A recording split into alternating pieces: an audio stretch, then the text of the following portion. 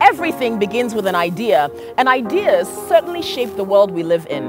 One woman had an idea and she turned it into a hub of creative ideas. The JACCD Design Institute Africa. Let's step inside. When it comes to creative education, JACCD is unparalleled with its world class fashion design program, state of the art facilities and equipment, an animation and game development program, graphic design studio, and a photography studio. JACCD is poised to be the leader in creative education on the continent.